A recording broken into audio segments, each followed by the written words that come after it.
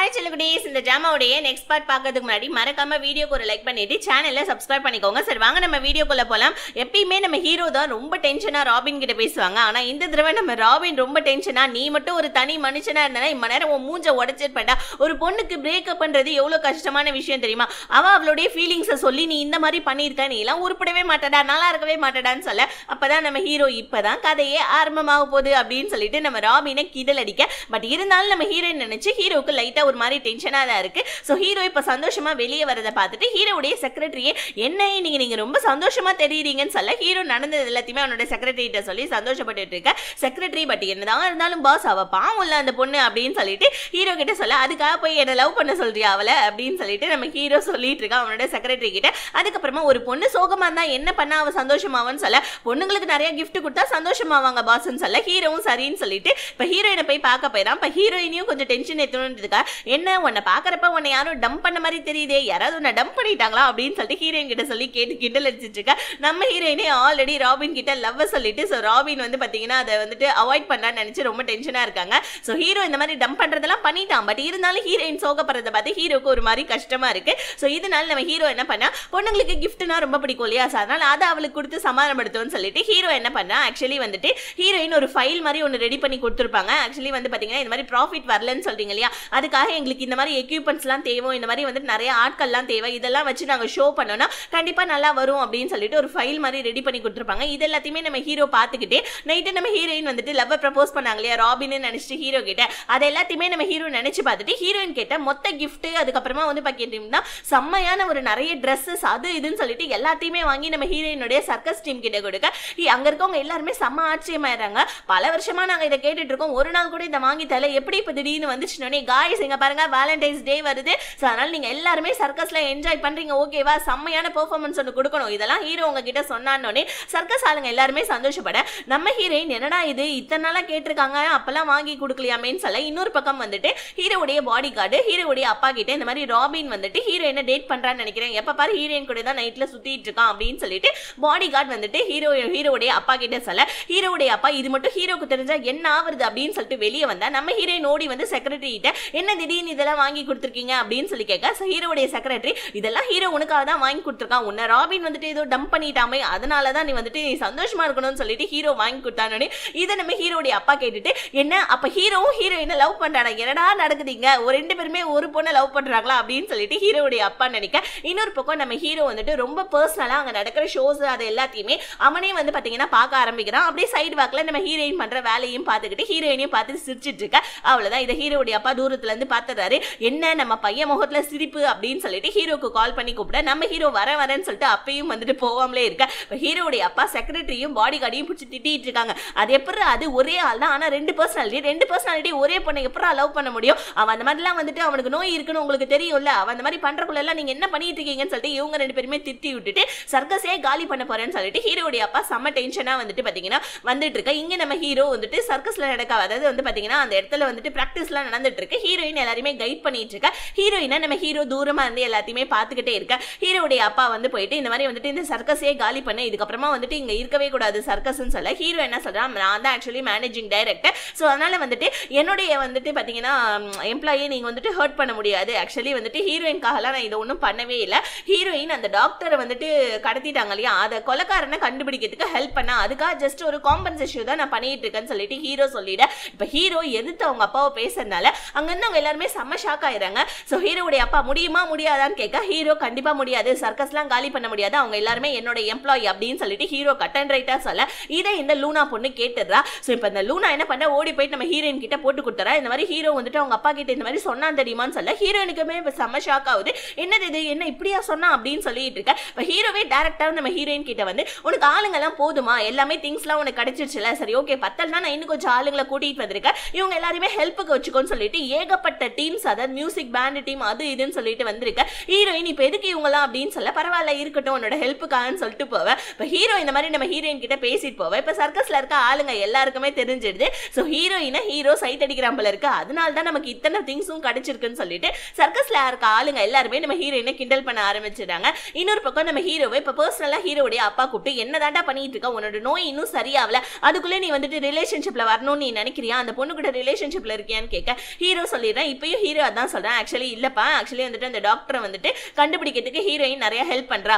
அதுக்காக ஜஸ்ட் ஒரு காம்படிஷேஷன் அவ்வளவுதான். மத்தபடி வேற எதுவும் கிடையாது. அப்படியே வந்துட்டு நான் நார்மலா வந்துட்டு வந்துட்டு இருக்கிறதுல என்ன பிரச்சனை அப்படின்னு சொல்லிட்டு ஹீரோ அங்க வந்து ஏதோ ஒரு இக்கு வச்சுட்டு பேசிட்டு போறான் அது என்னது தெரியல.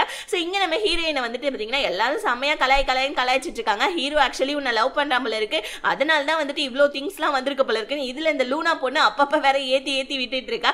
ஹீரோயினுக்கே இப்போ ஒண்ணுமே புரியல. ஹீரோயினுக்கே மனசுல ஒரு டவுட் வர ஆரம்பிச்சுட்டு ஒருவேளை அந்த மாதிரி தான் இருக்குமோ அப்படின்னு நினைச்சிட்டு அங்க இருக்கவங்க எல்லாருமே அப்படிதான் இருக்கும். அது என்ன இருக்குமோ அப்படின்னு சொல்லிட்டு பாரு நாங்களாம் இத்தனை நாளும் இதை கேட்டோம். இது வரைக்கும் வந்துச்சா? ஆனா பாரு அவனா வந்தா அவன்கிட்ட பேசுறான். எவ்வளோ இது வரைக்கும் வந்துட்டு இந்த சர்க்கஸ் இந்த இந்த இடத்துல இருந்து எவ்வளோ வருஷம் ஆகுது ஆனா அவன் என்னைக்காவது வந்திருக்கானா அப்படின்னு சொல்லிட்டு எல்லாரும் ஹீரோயின்ட்ட சொல்லிட்டு இருக்க. இங்க நம்ம ஹீரோக்கு நடக்கிறப்ப நிக்கிறப்பன்னு சொல்லிட்டு எல்லா இடத்துலயுமே வந்துட்டு நம்ம ஹீரோயினை பத்தியே தான் நினைப்பு ஓடிட்டு இருக்கு. ஹீரோயின் மேல நம்ம எப்படி இவ்வளோ கிரேசியா ஆனோம் அப்படின்றத ஹீரோ நினைச்சு பார்த்துட்டு இருக்கான். ஆக்சுவலி ஹீரோயின் வந்துட்டு கேர் பண்ணது அதுக்கப்புறமா வந்துட்டு ஹீரோயின் வந்துட்டு நம்ம ராபின் கிட்ட லவ் யூ சொன்னப்ப ஸோ வந்துட்டு நம்ம ஹீரோ ராபின் கிட்ட சொல்லாமல் இருந்தது அவனோட ஹார்ட் பீட் துடிச்சது. அதுக்கப்புறமா ஹீரோயின் ராபினுக்கு மெசேஜ் பண்ணப்போ எவ்வளோ கிரேஸியாக நம்ம ஹீரோ அந்த மெசேஜை ஓப்பன் பண்ணி பார்க்கறதுக்கு எவ்வளோ வந்துட்டு ட்ரை பண்ணால் அதுக்கப்புறமா டெலீட் பண்ணால் நெக்ஸ்ட் நம்ம ஹீரோயினுக்கு டேப்லெட் எடுத்து கொடுத்ததுன்னு சொல்லிட்டு எல்லாத்த பற்றியும் நம்ம ஹீரோ நினச்சி பார்த்துக்கிட்டே அப்படியே அந்த சைடாக போயிட்டு இருக்கா நம்ம ஹீரோயின் அவங்க ஃப்ரெண்ட்ஸ் கூட உட்காந்து பேசிட்டு இருக்காங்க. இதை பார்த்தோன்னே ஹீரோக்கு அப்படி ஒரு முகத்தில் வந்து பார்த்தீங்கன்னா ஒரு சின்ன ஒரு குட்டி ஸ்மைல் ஸோ நம்ம ராபின் மாதிரியே கொஞ்சம் கொஞ்சமாக நம்ம ஹீரோவும் மாறிக்கிட்டே வந்துட்டு இருக்காரு. ஒரு கேரிங்கான பர்சன் மாதிரியே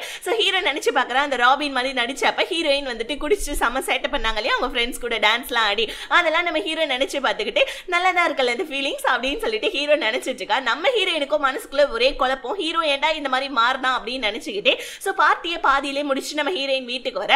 இங்கே நம்ம ஹீரோ வீட்டில் தான் இருக்கான் ஸோ அப்போ ஹீரோயின் ஹீரோ கிட்ட டேரக்டா போயிட்டு இந்த மாதிரி நீங்கள் ஒரு தடவை சொல்கிறீங்க சர்க்கஸை க்ளோஸ் பண்ணேன்னு சொல்லிட்டு இன்னொரு தடவை கான்டாக்டை ரினியூவல் பண்ண மாட்டேன்றீங்க. ஆனால் எதுக்காக இப்போ இந்த மாதிரிலாம் பண்ணிட்டு இருக்கீங்க? சர்க்கஸில் இருக்கவங்க எல்லாருக்குமே நம்பிக்கையை கொடுத்துட்டு லாஸ்ட்டாக சர்க்கஸை க்ளோஸ் கீஸ் எதுவும் பண்ணிடாதீங்க. அவங்களுக்கு மனசு ரொம்ப கஷ்டமாயிடும். ஏதாவது பண்ணுறதா இருந்தால் இந்த மாதிரிலாம் தயவு செஞ்சு பண்ணாதீங்க. எதுக்காக இந்த மாதிரிலாம் பண்ணுறீங்க எக்யூப்மெண்ட்ஸ்லாம் எதுக்காக நீங்கள் வாங்கி தரீங்கன்னு சொல்லிட்டு ஹீரோயின் அங்கே வந்து போயிடுறாங்க அவங்க ரூமுக்கு பட் இருந்தாலும் நம்ம ஹீரோ பின்னாடியே வந்து சாப்பிட்டியா அப்படின்னு கேட்குறாங்க நம்ம ஹீரோயினுக்கா தூக்கி வாரி போடுது. என்னடா இவன் நம்ம என்ன பேசிட்டு இருக்கோம் இவன் சாப்பிட்டியான்னு கேட்குறானேன்னு சொல்லிட்டு ஹீரோயின் மறுபடியும் வந்துட்டு என்ன பண்ணுறாங்க அங்கேருந்து கிளம்பி அவங்க ரூமுக்கு போவேன் நம்ம ஹீரோ வந்துட்டு பார்த்தீங்கன்னா ஹீரோயினை பார்க்காம இருக்க முடியல போல இருக்கு. மறுபடியும் போயிட்டு என்ன சாப்பிட்டியா இல்லையா? சொல்லு. இல்லைன்னா வா சாப்பிடலாம் அப்படின்னு சொல்லிட்டு ஹீரோ சொல்லிட்டு போவேன் ஹீரோயினுக்கு ஒரு மாதிரி ஹார்ட் அட்டாக்கே வந்த மாதிரி இருக்கு. என்னடா இவன் இந்த மாதிரி பேசுறான்னு சொல்ல. ஹீரோயின் இப்ப வெளியே வராததை ஹீரோ பாக்குறான். ஸோ ரொம்ப திமிர் பிடிச்சவ தான் அப்படின்னு சொல்லிட்டு ஹீரோ அங்க வந்து போவேன் நெக்ஸ்ட் நம்ம போலீஸ்காரரும் அதுக்கப்புறமா வந்து பாத்தீங்கன்னா இவர் அந்த டாக்டர் இருக்கா ஹீரோயினோட டாக்டர் இவங்க ரெண்டு பேரும் வந்து பாத்தீங்கன்னா அந்த கொலைக்காரன் டெக்னீஷியன் இருக்கா இல்லையா அவனோட வீட்டுக்கு போய் ஏதாவது க்ளூ கிடைக்குதான்னு பார்க்க போறாங்க. அப்படி போறப்ப அந்த டெக்னீஷியனோட ஒரு பர்சனல் டைரி இருக்கு. அதுல அவனுடைய சின்ன வயசு போட்டோ இருக்கு. அந்த டைரியில என்ன எழுதியிருக்குன்னா ஹீரோ வந்துட்டு பாத்தீங்கன்னா இவனுடைய ஃப்ரெண்டு இவங்க ரெண்டு பேருமே வந்து பாத்தீங்கன்னா ஸோ சின்ன வயசுலேயே வந்துட்டு ஃப்ரெண்ட் ஹீரோவுடைய கார் டிரைவர் ஹீரோ சின்ன பிள்ளையா இருந்திருப்பார் இல்லையா? அப்போ அவருடைய கார் டிரைவருடைய பையன் தான் இந்த டெக்னீஷியன் அப்படின்னு சொல்லிட்டு அதில் அந்த டைரியில எழுதியிருக்கு. அப்படியே அது எல்லாமே அவங்க வந்துட்டு போலீஸ்காரங்க கேட்ச் பண்ணிக்க. இங்கே நம்ம ஹீரோயினுக்கா வெறும் ராபினோடைய நினப்பாவே தான் இருக்கு. ஸோ ராபின் இந்த மாதிரி சொல்லிட்டான் நம்மளை அவாய்ட் பண்ணுறானே அப்படின்னு சொல்லிட்டு ஹீரோயின் வந்து பார்த்தீங்கன்னா அப்படியே ஒரு மாதிரி டென்ஷன் ஆகிட்டு அங்கேருந்து கிளம்பி வந்து பார்த்தீங்கன்னா இதுக்கு கொஞ்சம் திங்ஸ்லாம் கிராசரி எல்லாம் வாங்குறதுக்காக போயிட்டு இருக்க. நம்ம ராபின் என்ன பண்ணுறாரு அப்படியே நம்ம ஹீரோயினை ஃபாலோ பண்ணிக்கிட்டே இருக்காங்க. ஏன்னா டேரெக்டாக போனால் ஹீரோயின் ஏதாவது திட்டிடுவாளோ? இல்லை ஹீரோயினுக்கு மனசு கஷ்டப்படும்? கஷ்டப்படுமோன்னு சொல்லிட்டு. ஆனால் லாஸ்ட்டாக நம்ம ஹீரோயின் கண்டுபிடிச்சாங்க ராபின் கிட்டே இந்த மாதிரி நீ என்னை வந்துட்டு அதாவது அவாய்ட் பண்ணிட்ட அப்படின்றதுக்காக தான் நீ ஒரு கில்ட்டினஸில் தான் என் பின்னாடி சுற்றுறேன்னு எனக்கு நல்லாவே தெரியும். இந்த மாதிரிலாம் பண்ணாத எனக்கு ரொம்ப கஷ்டமா இருக்குன்னு சொல்லிட்டு சொல்ல ராபின் வந்துட்டு பேசிக்கிட்டே எவ்வளவோ சொல்ல ட்ரை பண்ணா ஆனால் இவங்க ரெண்டு பேரும் மாதிரி பேசிக்கிட்டே இருக்கக்குள்ள ரெட் லைட் போட்டுறாங்க இது தெரியாமல் இவங்க மட்டும் நடு ரோட்டில் நின்று பேச போலீஸ்காரங்க வந்துடுறாங்க. அவ்வளோதான் ஐடி கார்டு எடுங்கப்பான்னு சொல்ல ஹீரோயின் அவங்க ஐடி கார்டு கொடுத்துறாங்க ஆனால் நம்ம ஹீரோ ராபின் ஹீரோவாக இருக்கார் இல்லையா? இப்போ அவர்கிட்ட இருக்கிறதோ நம்ம ஹீரோவுடைய ஐடென்டி கார்டு தான். ஸோ இப்போ இதை எடுத்து போலீஸ்காரங்கள்ட்ட கொடுத்தா ஹீரோயின் கிட்ட மாட்டிப்பார் இல்லையா அதனால அப்படியே நின்றுட்டு இருக்கா அவ்வளோதான் கொத்தா போலீஸ்காரங்க போலீஸ் ஸ்டேஷனுக்கு கூப்பிட்டு போயிடுறாங்க. எங்கப்பா உன்னோட ஐடி கார்டு இவ்வளோ வளர்ந்தாமண்டி மாதிரி வளர்ந்து வச்சிருக்க ஒரு ஐடி கார்டு கூடமா எடுக்கல? எங்க ஐடி கார்டுன்னு கேட்க நம்ம ராபின் என்ன பண்ணாரு அப்படியே அவர் கையில போன் எடுத்து சைட்ல செக்ரட்டரிக்கு மெசேஜ் பண்ண செக்ரட்டரி அங்கேருந்து குடுகுடுன்னு ஓடியாந்தாரு வந்து நம்ம ஹீரோயினை பார்த்து நீங்க கொஞ்சம் வெளியேறுங்களேன் அப்படின்னு சொல்ல ஹீரோயின் என்ன ஆச்சுன்னு கேட்க இல்ல நீங்க சும்மா தான் வெளியேறுங்களேன். போய் டீ சாப்பிட்டுட்டு இருங்க நான் உங்களுக்கு டீ ஆர்டர் பண்ணியிருக்கேன்னு சொல்லிட்டு ஹீரோயின் அங்கே வந்து அனுப்பி விட்டுட்டு அப்படியே போலீஸ் ஸ்டேஷன்ல என்ன பண்ணாரு ஹீரோடைய செக்ரட்டரி அப்படியே அந்த நிலைமையை கொஞ்சம் ஹேண்டில் பண்ணி வெளியே வந்துட்டு ராபினை கூப்பிட்டு வந்து என்னப்பா பண்ண பார்த்தா ஏன்பா இந்த மாதிரி என்ன டார்ச்சர் பண்ற? அப்படின்னு சொல்லிட்டு ராபின் கிட்ட சொல்ல. ஹீரோயின் அங்க வந்து போயிட்டான்னு நினைச்சு இப்ப நம்ம ஹீரோவும் அதாவது ராபின் ஹீரோவும் செக்ரட்டரியும் பேசிட்டு இருக்காங்க. ஆனா நம்ம ஹீரோயின் அங்க வந்து போல அங்கதான் சைட்ல நின்னுட்டு இருக்காங்க. இப்போ அவங்க ரெண்டு பேர் பேசுறத நம்ம ஹீரோயின் வந்துட்டு கேட்டுடுறாங்க. ஆக்சுவலி நம்ம ராபின் ஹீரோவும் அதுக்கப்புறமா வந்துட்டு செக்ரட்டரியும் பேசிட்டு இருக்காங்க. இந்த மாதிரி வந்துட்டு ஹீரோ இந்த மாதிரி பண்ணது எவ்வளவு பெரிய தப்பு? பாவம் அவளுக்கு பத்தியா எவ்வளவு கஷ்டமா இருக்கு? ஹீரோயின் அனுப்பிச்ச மெசேஜ் அவன் என்கிட்ட காமிக்கவே இல்லை. அவன் டெலீட் பண்ணி விட்டுட்டான். அவன் மட்டும் என் முன்னாடி முன்னாடி இருந்தானா அவன் வாயை உடைச்சிடுவேன். ஆனால் இந்த விஷயத்தை நான் ஹீரோயின் கிட்ட சொல்லலாம். ஆனால் சொன்னால் அவள் வந்துட்டு கோவப்பட்டு போயிட்டு என்னோட அதாவது ஹீரோ கிட்ட போய் கேட்பான் அப்படி கே- ஹீரோ கோவப்பட்டு அவளை வெளியே அனுப்பிச்சிட்டா என்ன பண்றது? அவளோட உயிருக்கே நிறைய ஆபத்து இருக்கு. அதனால தான் வந்துட்டு நான் அவளை வீட்டில் வச்சிருக்கேன் அப்படின்னு சொல்லிட்டு ராமின் ஹீரோ ஹீரோடைய செக்ரட்டரிட்ட சொல்ல இப்போ ஹீரோயின் இதை கேட்டுறாங்க கேட்டுட்டு செம்ம சந்தோஷப்படுறாங்க. வந்துட்டு அப்படியே நம்ம ராபின் கிட்ட உன்கிட்ட கொஞ்சம் பேசணும்னு சொல்ல ராபின் நீங்க தான் இருக்கியான்னு கேட்க ஹீரோயின் ஆமா? அப்படின்னு சொல்லிட்டு போவேன் இப்போ ஹீரோயினும் ராபின் ஹீரோவும் அங்கே வந்து போயிடு. இப்போ ராபின் என்ன பண்ணுறாரு ஹீரோயின் ஹீரோயினோட வீட்டுக்கு கூட்டு வந்து ஒரு பப்பட் ஷோ மாதிரி ஒன்று நடத்துறாங்க. ஸோ அந்த பப்பட் ஷோட்லேயே ஹீரோட அதாவது ராபின் ஹீரோட மனசில் இருக்கிறதெல்லாம் சொல்கிறாங்க இந்த மாதிரி வந்துட்டு எல்லா விஷயத்தையும் என்னால் உங்ககிட்ட வந்துட்டு ஷேர் பண்ண முடியாது. அதுக்காக நான் ரொம்ப உங்ககிட்ட சாரி கேட்டுக்கிறேன். ஆனால் அதுக்காக நீ என்னை வந்துட்டு வெறுத்துறாத அப்படின்னு சொன்னோடனே ஹீரோயின் என்ன பண்ணாங்க? கையில் ஒரு பொம்மையை மாட்டிக்கிட்டு சரி பரவாயில்ல அப்படின்னு சொல்ல ராபின் ஹீரோ என்ன பண்ணாரு? அப்படியே அந்த பொம்மையோடைய ஹீரோயினோட பொம்மையை கிஸ் பண்ணிட்டு நம்ம ஹீரோயினை டக்குன்னு கிஸ் பண்ணிடுறாங்க. ஹீரோயினுக்கா ஒன்றுமே புரியவே இல்லை. அப்படி தலைக்கால் புரியாமல் நம்ம ஹீரோயின் அப்படியே என்னடா இதுன்னு சொல்லிட்டு பார்த்துக்கிட்டே இருக்கா. அப்படியே அங்கே சீன் கட் ஆகுது. அப்படியே மறுநாள் தான் காமிக்கிறாங்க. நம்ம ராமின் மட்டும் வந்து பாத்தீங்கன்னா ஒரு மாரியா இப்போ நம்ம ஹீரோவும் ஒரு மாரியா தான் இருக்கான். ஏன்னு கேட்குறீங்களா ஆக்சுவலி ஹீரோயின் இந்த வீட்டுக்கு வந்தப்போ நம்ம ஹீரோவுக்கு வந்துட்டு ஒரு பேம்பு ட்ரீயை ஒன்று ப்ரெசென்ட் பண்ணியிருப்பாங்க. ஆனா நம்ம ஹீரோ இதெல்லாம் எனக்கு பிடிக்காது தூர வீசு அப்படின்னு சொல்லிட்டு தூக்கி போட்டிருப்பாரு. இப்போ அந்த பேம்பு ட்ரீயை நம்ம ஹீரோ எடுத்து அதுக்கு தண்ணி எல்லாம் ஊத்திட்டு இருக்காரு ஸ்மைல் பண்ணிக்கிட்டே அப்ப பாருங்களேன். இப்போ யாருக்கு தான் நம்ம ஹீரோயின் ஜோடி தெரியல.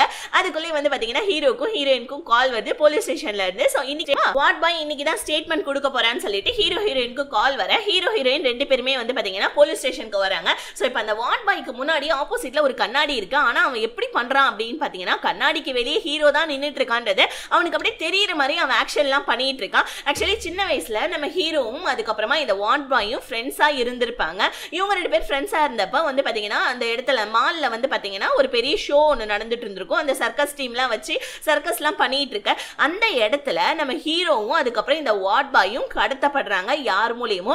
அதுக்கப்புறமா என்ன ஆச்சு தெரியுமா? அப்படின்னு சொல்லிட்டு ஹீரோவை பார்த்து கேட்க ஹீரோக்கு செம ஷாக் ஆகுது. ஏன்னா ஹீரோவுடைய சின்ன வயசு ஃப்ரெண்டு தான் இதுன்னு தெரிஞ்சோன்னே ஹீரோ அப்படியே ஷாக்கிங்லேயே நின்றுட்டு இருக்க இப்போ எங்களை கடத்தினதுக்கு அப்புறமா ஒரு விஷயம் நடந்தது பாருங்க அப்படின்னு சொல்லிட்டு அந்த வந்துட்டு பார்த்தீங்கன்னா ஹீரோடைய ஃப்ரெண்டு அந்த வார்ட் பாய் வந்துட்டு சொல்லிட்டு இருக்க ஹீரோ அதெல்லாம் கேட்க முடியாம அப்படியே அவனுக்கு ஒரு மாதிரி பிபி எல்லாம் எகிர ஆரம்பிக்குது. அப்போ எங்களை கடத்தினவன் ஹீரோவுடைய அப்பாவுக்கு கால் பண்ணி ஸோ காசு கேட்டான். ஆனால் அந்த ஆள் என்ன பண்ணான்? காசு தர மாட்டேன் ஆனால் அதுக்கு பதிலாக உன்னை நான் போலீஸில் வந்துட்டு பிடிச்சி கொடுத்துருவேன். அதை விட பத்து மடங்காக நான் காசை செலவு பண்ணுவேன். ஆனால் நான் உனக்கு காசை தர மாட்டேன்டா உன்னுடைய பிளாக்மெயிலுக்கெல்லாம் நான் ஆளாக மாட்டேன்னு சொல்லிட்டு ஹீரோவுடைய அப்பா காசு தரல. ஆனால் அதுக்கப்புறமா என் மூலயமா தான் ஹீரோ வந்துட்டு தப்பிச்சான் தெரியுமா? அப்படின்னு சொல்லிட்டு அப்படியே வந்து பார்த்தீங்கன்னா நம்ம ஹீரோ அங்கே நின்றுட்டு இருக்கான் இல்லையா? ஸோ அப்படியே அந்த கண்ணாடியில் வந்து ஹீரோவுடைய ஃப்ரெண்ட் அந்த வார்ட் பாய் என்ன பண்ணா அந்த அப்படி கண்ணாடியை அடிச்சுக்கிட்டு அதுக்கப்புறம் என்ன நடந்துச்சு தெரியுமாடா உனக்கு? நான் எவ்வளோ கஷ்டப்பட்டேன் தெரியுமாடான்னு சொல்ல ஹீரோவுடைய நிலமை அப்படியே கொஞ்சம் கொஞ்சமாக மோசமாகுது. ஹார்ட் பீட்லாம் செம்மையாக எகிரிட்டு இருக்கு ஹீரோ அவனால் முடியாமல் அப்படியே வெளியே ஓடிடுறான். நம்ம ஹீரோயின் ஹீரோக்கு என்ன ஆச்சுன்னு சொல்லிட்டு ஹீரோ ஃபாலோ பண்ணிக்கிட்டே போவேன் அதுக்கப்புறமா அந்த கடத்தினவன்ட்ட ஹீரோ அதாவது அந்த கடத்தினவன் இருக்கான் இல்லையா? ஸோ நம்ம ஹீரோடைய அப்பா கிட்ட காசு கேட்க அவன் கொடுக்க மாட்டேன்னு சொல்லிட்டான். அதுக்கப்புறம் என்ன நடந்துச்சுன்னு பா காமிக்கிறாங்க. ஸோ இந்த ஹீரோடைய ஃப்ரெண்ட் என்ன பண்ணாங்க ஒரு ஜன்னல் இருக்கும். அப்போ நம்ம ஹீரோ மட்டும் ஏற்றி விட்டுட்டு ஸோ என்னையும் தூக்குன்னு சொல்லிட்டு சொல்லிட்டு இருக்கப்ப ஹீரோ என்ன பண்ணான் தூக்கி தான் விடுறான். ஆனால் அவன் ரொம்ப சின்ன பிள்ளையா இருந்தான் இல்லையா? அவனோட சைஸுக்கு வந்து பார்த்தீங்கன்னா ஒரு ஜாமெட்ரி பாக்ஸோ இல்லை ஒரு பேக் தூக்குறதோ பெரிய விஷயம். அவனுடைய வெயிட்டே தூக்குறது எவ்வளோ கஷ்டமான விஷயம். ஏன்னா அவனுடைய சைஸ் தானே அந்த குட்டி பையனும். தூக்க முடியாம கரெக்டாக வந்துட்டு அந்த அந்த கடத்தனவனும் அங்கே வர. ஸோ ஹீரோ அந்த அந்த குட்டி பையனுடைய கையை அதாவது அந்த வார்ட் பாயோடைய கையை உள்ள விட்டுற. அந்த கடத்தனவன் அந்த வார்ட் பாயை மட்டும் பிடிச்சிக்கிறான். ஹீரோ அங்கேருந்து தப்பிச்சு போகிற மாதிரி காமிக்கிறாங்க. இதெல்லாம் ஹீரோ நினச்சி பார்த்துக்கிட்டே ரொம்ப ஃபீல் பண்ணிக்கிட்டே நின்றுட்டு இருக்கா ஹீரோயின் என்ன ஆச்சுன்னு கேட்க வர திடீர்னு நம்ம ஹீரோ ஹீரோயினை ஹக் பண்ணிக்கிறாங்க. ஹீரோயினும் அப்படியே ஹீரோ கிட்ட ஒன்றும் இல்லை ஒன்றும் இல்லை நார்மலாக அவங்க ஒன்றும் பிரச்சனை இல்லை பிரச்சனை இல்லைன்னு சொல்லிட்டு சொல்ல. இதோட இந்த பார்ட் முடியுது. ஸோ அப்போ ஹீரோடைய ஃப்ரெண்டு தான் அந்த வார்ட் பாயின்னு நினைக்கிறேன். ஸோ என்னன்றது தெரியல. ஸோ கதை போக போக இன்னும் ரொம்ப இன்ட்ரெஸ்டிங்காக இருக்கும். வீடியோ பிடிச்சிருச்சா மறக்காம வீடியோக்கு ஒரு லைக் பண்ணிட்டு சேனலை சப்ஸ்கிரைப் பண்ணிக்கோங்க. பாய்